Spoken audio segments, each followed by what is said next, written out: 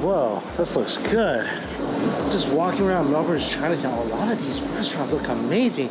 Fancy looking yakiniku place. There was a Wagyu buffet I just passed, passed by a bunch of hot pot places. I could spend a week just exploring and eating here. I was gonna go to this really awesome looking Chinese noodle place, but um, they close in about 30 minutes, so I think I'm just gonna eat here. This is supposed to be a very authentic Thai restaurant.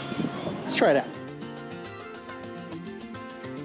You walk into this place, they give you a little pad to fill out, and every single sheet on the pad is for one bowl of noodles. I'm starving, I got two bowls of noodles. First one, a boat noodle. Something I always get. One of my favorite noodles in Thailand. And this place is about to close in like half an hour. Still full house. Look at this. Pork, looks like a couple pieces of beef, some meatballs, sprouts. You can choose the noodles you want. I got really thin rice noodles.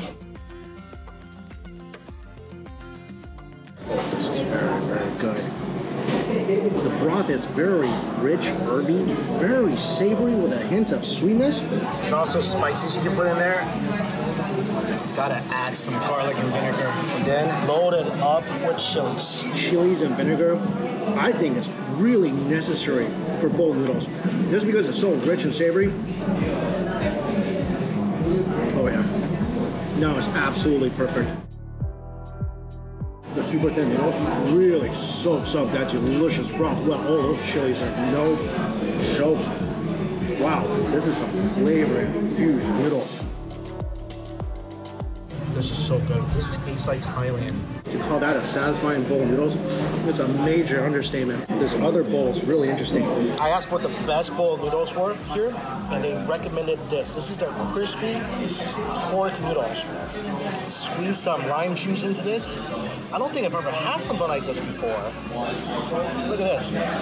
Crispy pieces of pork over flat egg noodles, some slices of pork on the side, and it comes with a bowl of soup.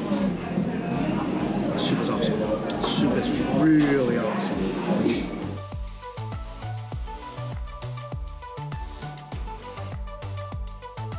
That is a crispy, fat loaded piece of pork belly. Chase that with some of the dry noodles. And then chase that with a sip of the broth the thinner slices of pork, a little sweet, tons of flavor. And the noodles themselves don't have a lot of sauce on them. It just tastes like it's covered in this very thin layer of pork fat. So this whole dish is a very porky dish. Especially when it comes to this broth. Add some chilies. Hit this with some vinegar as well. And just a splash of the fish sauce. This particular dish really highlights the cut of pork and also the springiness of the noodles. My favorite out of the two is still the boat noodles. For everything I had here, authentic and delicious. Let's go get a bubble tea. Oh, this place got an avocado series too. There's like this whole area just full of bubble tea shops. Mango green tea is awesome. I want to stay longer in Melbourne just so I can be here more. There's so many places I want to eat at. And today I'm just getting a preview of Chinatown. I'm going to be spending a whole day here tomorrow going to all these places I added to my list. So today's just really a scouting mission. One thing I definitely wanted to do in Australia is check out the local McDonald's and Burger King. Well, here they call it Hungry Jack's. And the area by my hotel, luckily, has both. So went into McDonald's, there's not much different on the menu. The most unique thing here are these, pineapple fritters. Also, um, there's a few unique items from the McCafe menu, like what they call a toasty, and also hot cross buns. But I did want to try out their Angus beef burger because this is made from 100% Australian beef beef. This is a good sized patty with a couple giant pieces of bacon inside, melted cheese, and barbecue sauce. Although this patty is a little dry, I could tell right away this is a better quality beef patty than the ones in the US. Just a much bigger beef flavor. You can also pretty clearly taste that this thing's got a good amount of fat in here. Mm, it just tastes like good quality beef. A lot of times in the US, I don't feel like McDonald's burgers taste like that. I'm really excited to try this. So these are fresh out of the fryer pineapple fritters. Fried giant slices of pineapple, piping hot right now. Oh my gosh. This is so good. Such a wonderful crunch on the outside. Inside, the pineapple is warm. It's juicy. This is absolutely phenomenal. The pineapple is sweet, a little tart. Tons of juice is released. All that juice is trapped inside this outer shell. This tastes like a fried piece of paradise. Mm, absolutely love that. Okay, so looks like barbecue sauce inside a, a flat piece of bacon and some cheese. I really didn't think this was gonna be really even edible because the bacon looks like it's been baking on the Australian sun for the last two years. That bacon pretty much tastes like leather, but the bread's pretty good. I like the melted cheese, but overall it's not a bad sandwich. Finally, hot cross buns. This is pretty good. Inside is very soft. I like the raisins. It's got a nice chewy, pillowy texture. First time I've ever had hot cross bun before. Not bad. Best thing here, definitely the pineapple fritters. Now let's hit across the street and go to Hungry Jack's. So this Hungry Jack's is in a gas station. Whoa. That was like a burger tot.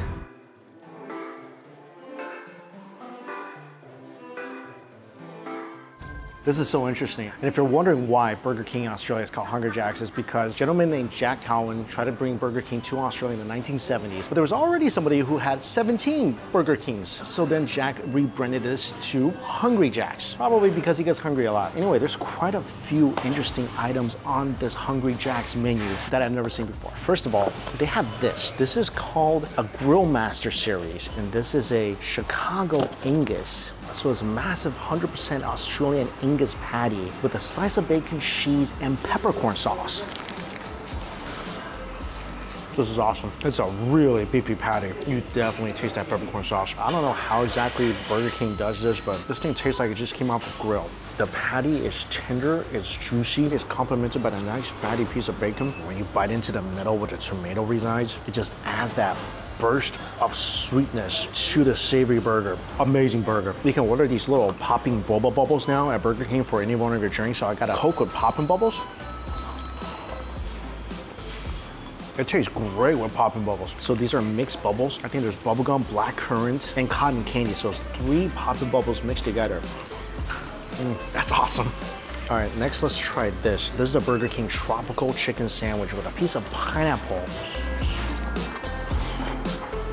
I love Hungry Jack's. It's so much superior to McDonald's. I think the burgers taste better. I think the chicken sandwich tastes better. I think the BK Big Fish tastes better. I mean, when I bit down on this, it's just a perfectly fried, crispy, thick piece of chicken cutlet with sweet, juicy pineapple and barbecue sauce and bacon. I mean, this is a fantastic, fantastic sandwich. Sweet and savory. I had to get this too. I love spicy chicken sandwiches and this was advertised as having a spicier sauce. This looks like a phenomenal chicken sandwich. Mm -hmm. Crispy, breading, tender chicken. It's a delicious spicy chicken sandwich. I still don't think it's very spicy. I feel like the spice level now doesn't compare to Popeye's regular spicy chicken sandwich. Can imagine how spicy this was before. Oh yeah, that he's kicking in. It's spicier than a Popeye's, and it's got a more lingering burn. This is nice. Also, had to get a Whopper. This is the Aussie Whopper. What's interesting about this is it has beets. Also, a fresh fried egg inside. The beets do add an interesting, slightly sweet profile to the Whopper. I prefer if there was an egg in my burger that it'd be runny. This thing hasn't ran in a long, long time. I don't think it ever did. I mean, I like the Whopper. I think these additions, just okay. This is really interesting. So, this is their new creation. It's a burger ball. That's not bad. So they basically took some minced meat and cheese and battered it up and deep fried it. I mean, it's been sitting here for about 10 minutes, so it's not very melty anymore. It's still crispy on the outside. I think that fresh out of the fryer, when the cheese is still melty and stretchy, I think that I will taste pretty awesome. This is the sticky date pudding. So it looks like soft serve on the top and pudding underneath. Not a bad dessert. So soft serve on top, well, in my case, melted soft serve on top. The cake is cinnamony sweet. This is definitely very, very decadent. My favorite thing today, definitely that peppercorn burger. I mean, that thing just blew anything McDonald's has to offer out of the waters. Also, poppin' boba, I think it works. They should do this in the US. This will be a big hit. And the chicken sandwiches are really good too. If you're craving a fast food burger while in Australia, Hungry Jack's Give it a try. This is so interesting. On this block full of restaurants and businesses, it just looks like someone's house, but it's beautiful. Such an interesting looking place. Finally, dinner is a Mediterranean mountain of seafood. Some fried, some grilled over charcoal. There's lobster, prawns, fish fillet, stuffed calamari. There's prawns and calamari skewers. There's Parmesan baked scallops. There's paella rice in the middle. There's mussels, a spicy fried soft shell crab, and these little fish they call crispy white bait. This looks absolutely spectacular. Start with one of these little white baits light and so crispy on the outside.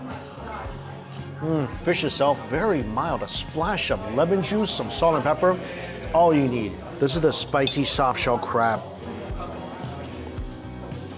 I love this fish. A little bit of heat. The seasoned so beautifully. Crispy on the outside. Mm, tender, sweet crab meat on the inside with a burst of hami miso. The lemon juice works so well with the seafood. Look at this, skewer of squid, peppers, prawns. Oh.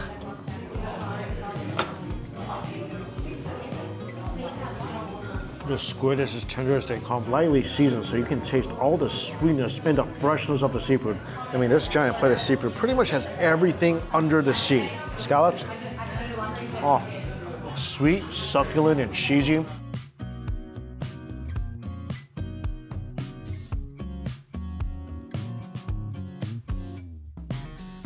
Not a single bad bite of seafood. And look at this. It's a stuffed squid. Mmm, stuffed inside the squid is prawns, fish, and some different fresh herbs. Again, grilled over charcoal. There's some sort of diced up fish in here, stuffed into the sweet, succulent squid. So inside the mountain resides a mini mountain of paella. Oh, that's so good. That is just pure, buttery seafood flavor that's soaked into this rice. The rice texture is still nice and al dente. Oh, I absolutely love this. The fish is so good too. Flaky whitefish, again, grilled over charcoal. It's mild, it's tender, and it just goes perfect with that rice in the middle. There's so many treasures to dig up on this giant plate. Oh, look at the size of this prawn here. This is gonna be awesome. Grab a mussel as well. And look at all the juice from the different seafood just oozing to the bottom of the plate. And, and all that juice bypasses the rice, giving it even more flavor. The rice is almost the best part because it is the most flavorful part of this dish. It's like when all the powers of the different seafoods combine, we're gonna get some phenomenal flavors. That is a smoky, delicious prawn head. This is a spectacular plate of seafood. Everything from the crispy bait fish to the tender catch of the day filet and that flavor-filled rice. And every ingredient brings either additional texture or flavor. This is such an awesome plate of seafood and a great way to wrap up this food day. Started off at a Thai noodle place. That's probably one of the most authentic Thai restaurants I've been to outside of Thailand. And then being able to try the McDonald's and Hungry Jack's and finally ended up in this gem of a place. That's what I call a fun-filled food day. As always, all places I went to listed down below for you guys. Thank you all so much for watching. Until we eat again. See you later.